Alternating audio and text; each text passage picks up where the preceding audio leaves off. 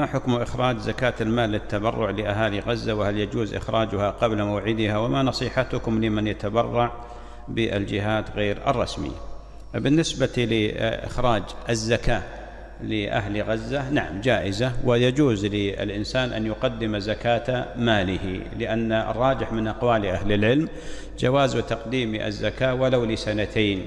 والتبرعات أيضا الصدقات والزكوات كلها تخرج لأهل غزة خاصة وأن يعني ولاة الأمر بارك الله فيهم دعوا الناس إلى التبرع. ولا يجوز لأحد أن يتبرع لغير الجهات الرسمية وهي الجمعيات الخيرية التي أنيط بها جمع التبرعات. ما يصلح وإنما تلتزم بما جاء من توجيهات ويعني تذهب بزكاتك أو بتبرعاتك إلى الجهات الرسمية. ويلتزم الإنسان بهذا تحقيقا للمصلحة.